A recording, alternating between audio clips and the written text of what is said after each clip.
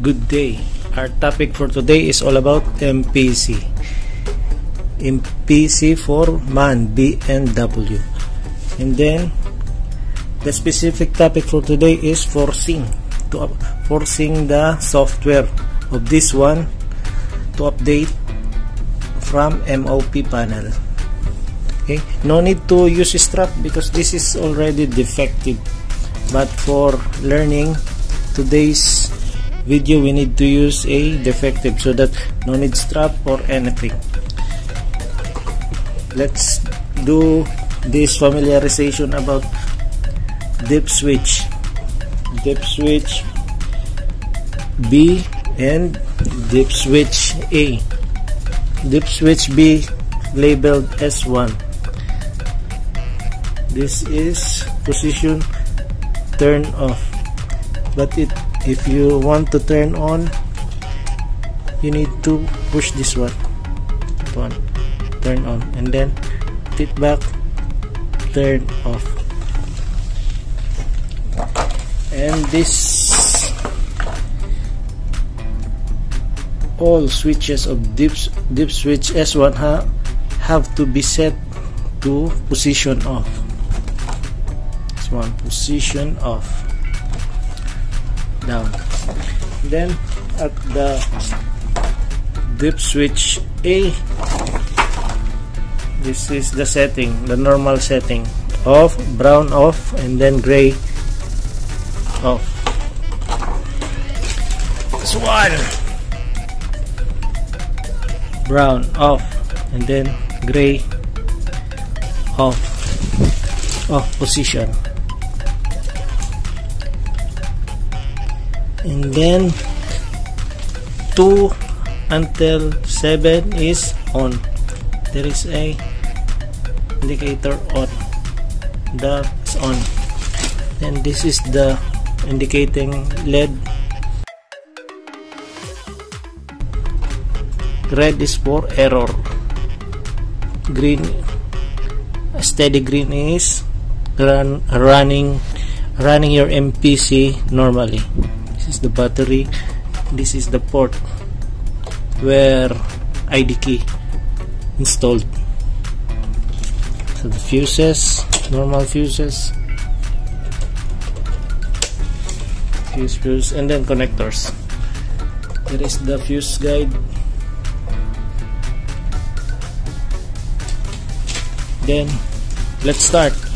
When you install this one when you when you install this one example this is a spare MPC on board has been used previously to another location.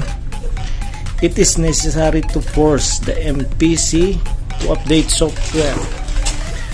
Update software from MOP this is done by the following to set the yellow dip switch to turn off this one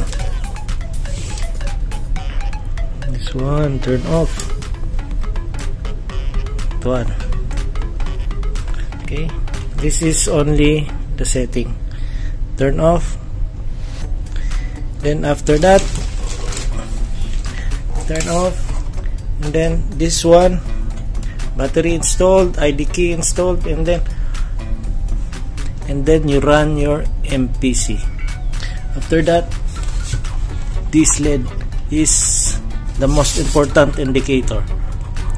If that LED flashing two reds and following three green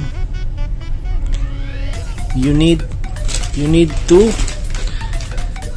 turn this yellow dip switch going to turn on. It's because that that MPC is already updated with its software. The normal MPC runs at stabilized normally about 15 minutes. Again recap. Switch S1 turn off. All is turn off. Position must be turn off.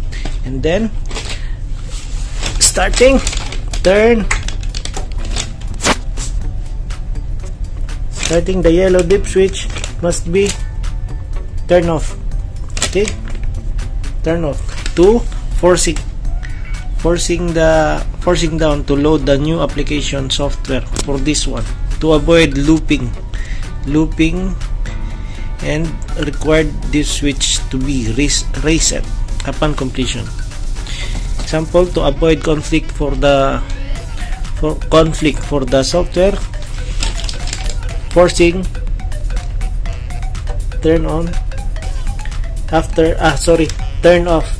This one is turn off because lower position is on. Turn off the yellow dip switch. And then connect all com uh, connectors. And then start up turn on the system.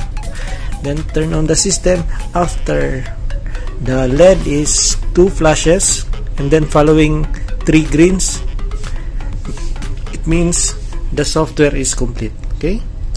And then after after that turn this yellow dip switch to turn on okay? Turn on that is the normal turn on. Off brown and gray is off position and then after you do that this indicator indicator LED is green color green. Okay? That's all. Need to do. That is forcing. To avoid conflict of software. Okay? Example if this is a new spare I have also a new video uh, previous video that I installed new spare no need to force the download for this new spare because I'm the one who opened the package and broke the seal I know that is new okay Thank you for watching. Don't forget to like, share, and subscribe for more videos. Don't forget to follow us on Facebook, Barko TV. Adios!